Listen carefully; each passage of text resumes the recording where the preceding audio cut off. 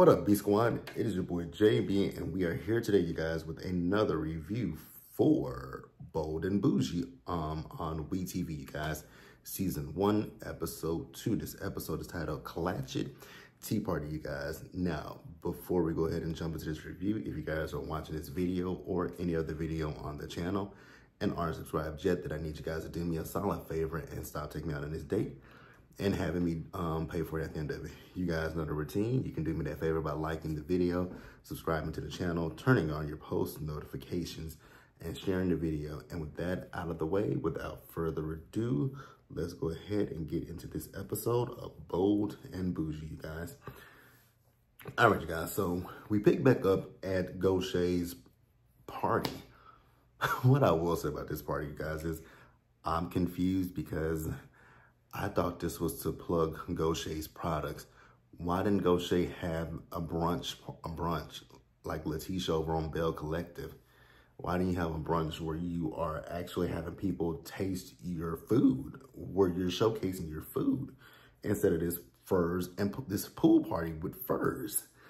But because that's just what my marketing brain goes to. But if she if she feels like it was a success, it was a success, right? Now, Crystal, we still are on the situation of Crystal, and I'm with Crystal. At this point, I'm tired of the rumors. I'm tired of everything at this point. Even in the first episode, Monyetta came out last week and was like, y'all oh, y'all should pay me, you know, tweeted Carlos like, you should pay, give me a check because y'all mentioned my name the whole entire first episode. Damn, damn near, girl. Damn near. like, okay, girl. But, uh, I'm kind of with Crystal. Like, let's stop talking about it. Let's stop talking about it.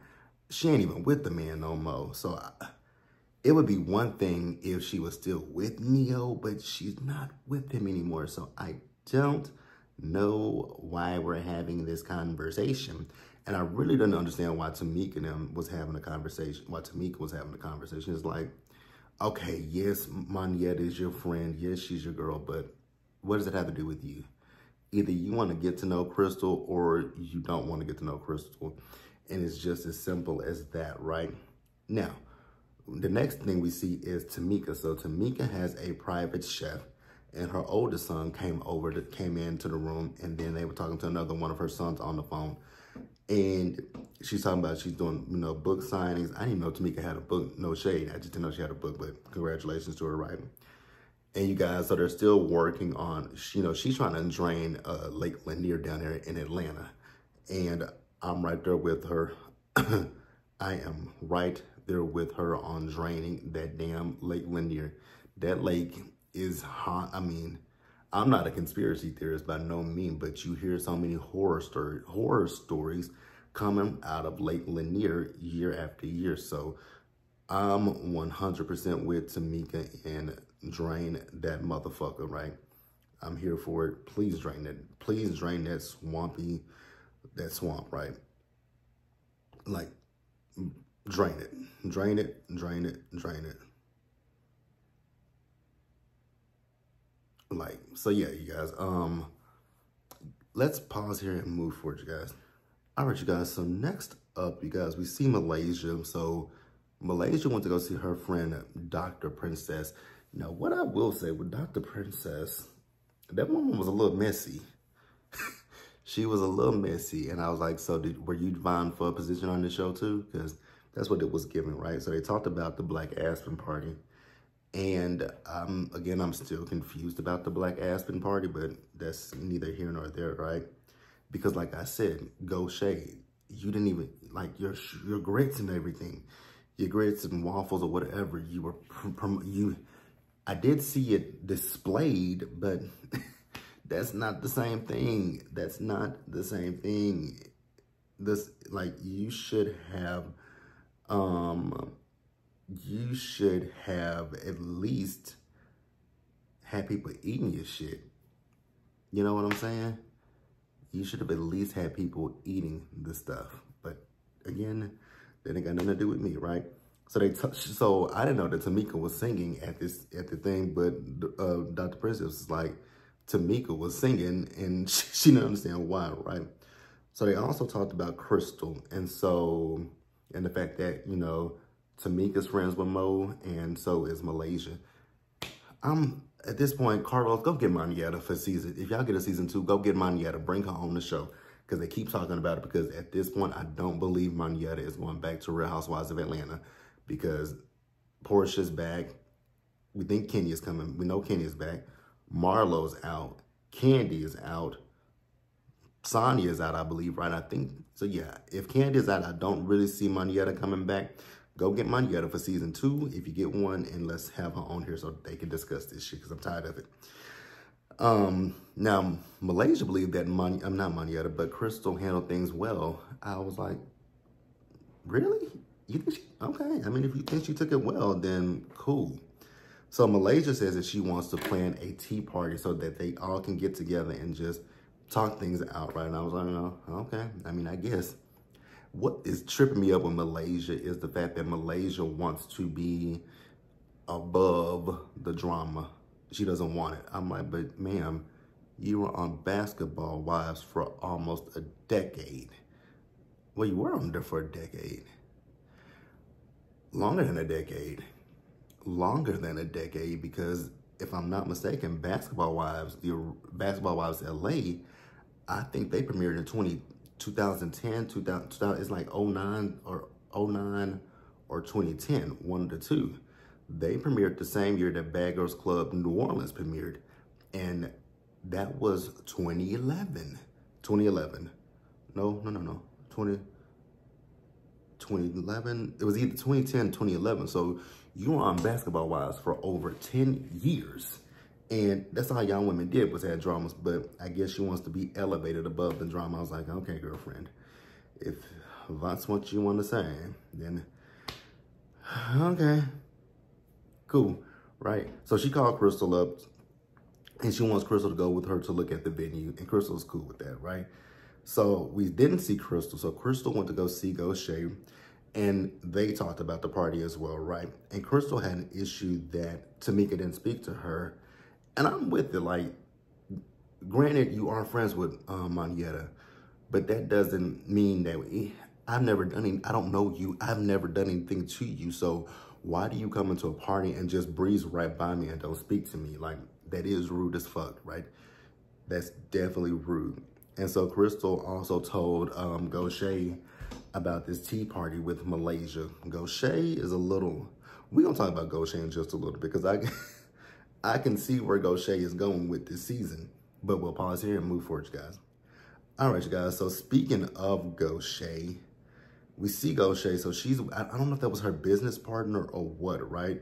But she's meeting with someone and they're, you know, you guys know Gocha is wanting to, now my TV said topless bar, but I believe she's saying topless bar. She's opening up a topless bar, right? And I'm here for Gocha. I'm here for entrepreneurism. I'm here for it, especially with her story. I did not, I don't think I ever remember her saying that she, well, she didn't really have much on, she didn't really have much to say on um, Real Housewives of Atlanta other than she dated Rodger Bobb. And I, I didn't even remember that she had dated Dice. If you guys don't know, Dice is Lala Anthony's cousin, or Lala, Lala's cousin. And because um, she had a show, you know, you guys remember Lala's Full Court, Full Court Life on WeT. Was it on? No, it was on VH1. Lala's Full Court Life. And I actually watched that entire, I watched that, that show. Love that show, right? And Dice is Lala's cousin who's a lesbian. And I didn't even remember that Gocha was her girlfriend. Mm. But that show, it's been years since that show was on the air, right? But you guys, what was I saying? I went off on a tangent and I don't remember what I was talking about. Um, so she's talking about her daughter. So she's she has a strained relationship with her daughter, and she has one with her son. Now, when she was talking about her son coming into the restaurant and just breezing past, past the hostess stand and sitting himself down to eat, oh no, no, no, no, no, we ain't playing that game, sir.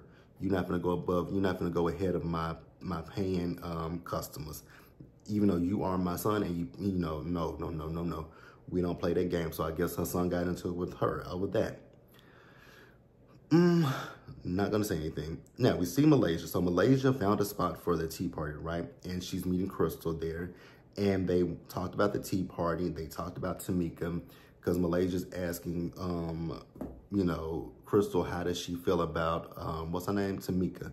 She says she doesn't know, and Malaysia's telling her not to think too deep, think too deep into it. Malaysia, Malaysia, Malaysia. You would have had a whole ass fit, like if that woman came in there and treated you the same way that um, Tamika treated Crystal.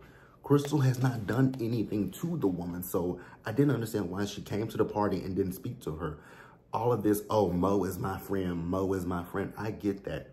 Like I said last week with my best friend, if her husband and her divorce and, you know, he's with another woman and we in, and, and I'm around the woman, I'm not going to be like, oh, bitch, you were my best friend's ex-husband or you was with her ex or you were with him and I don't fuck with you. I'm not gonna do that. Like, I'm like, you know, hi, how are you? I'm gonna, you know, we're gonna introduce you, I'm gonna introduce myself. I'm not gonna be, especially in a situation like this, I'm not gonna be ugly or anything like that. I'm just like, you know, I, I do know that, you know, we have something, we have something like you were with my best friend's ex-husband and you know, I would say something to the nature of what Malaysia said. Just as long as you don't say nothing negative about my sister, we're good, right? Don't speak ill of her. Don't speak ill of, you know, her. Don't speak ill of anybody that I know with her. Just say, just keep it on mute, right? Me and you can have our relationship, but that's it. Again, don't talk about her. Don't talk about him. And again, we'll be fine. Like, I don't understand it, but hey, it is what it is. Now, we'll pause here and we'll go ahead and get to wrapping up the episode, you guys. All right, you guys. So, Shay, remember I told you that she's estranged from her daughter. Baby, when she fell down them stairs, I was like, damn, I know that hurt. Oh, that just made me think about my tailbone. Like, I have, I have messed up my tailbone a few years ago, and it was the most pain. I mean, when I tell you guys, that shit was painful. Like, I, what happened is I was at work, and my chair had you know, rolled back and I, boom, went to go sit down and pop, fell right on the ground and it was hard. And it was, it was a while before I felt that pain. It's like a few days, it was like a few days to a week before I actually felt that pain, but neither here nor there, right? So she and her daughter sat down and, you know, I think that I'm glad that they mentioned family counseling because when I listened to it, I was like, there's some family issues that you guys need to work through because um, the daughter talking about how she was depressed after the house burned and all that stuff. And um, she told her that she doesn't hold her not being there against them. And I was thinking to myself with Gocha, like, because the daughter was talking about with Gocha, she didn't come to their games and things of that nature. But Gocha felt like she was providing for them by always having, you know, having somewhere for them to stay, food in their, you know, food to eat and think she she's one of those parents, right? Who thinks as long as I'm providing, you know, things to my kids, my kids are good. And I think, like I said, she and her kids, they just need to sit down, have some therapy, family therapy, and just get it all out in the open, right?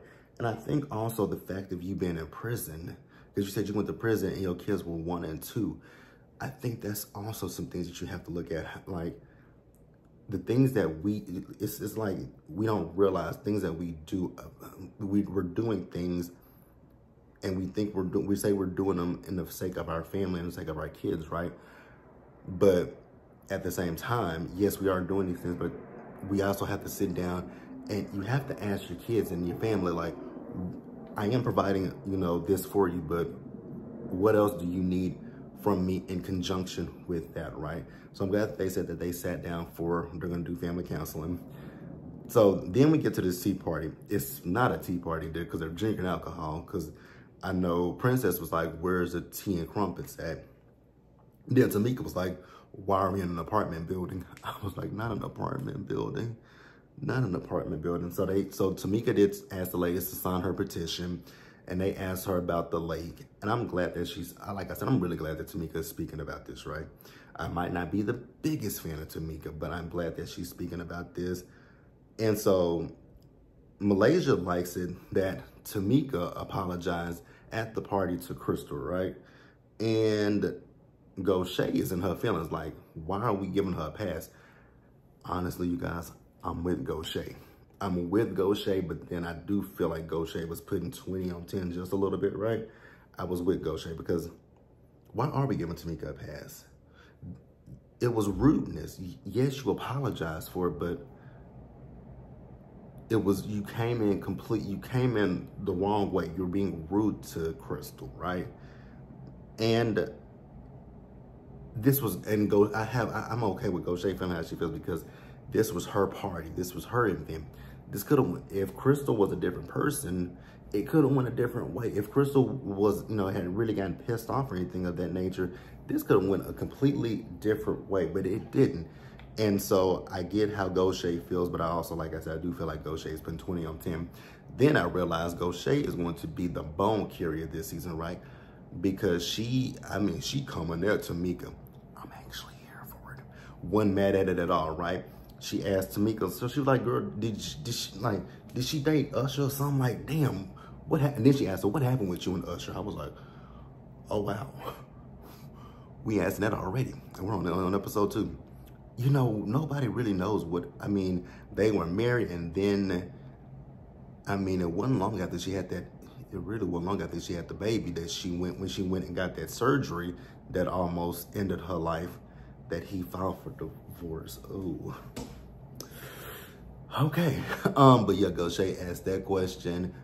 And then Gocha asked, you know, Crystal, like, no, it was Malaysia who asked Crystal, did you ever slide in Usher's DMs or something? And Crystal felt the way about that, and I'm cool with I'm I'm, I'm cool with that too. Um, they played a game of misconceptions about them, like I'm bougie, I'm a bitch, I'm this, I'm that, right? And they had to guess who the person was who wrote that on their card. But that's the episode, you guys. Um, overall, I will say I am enjoying Bold and Bougie.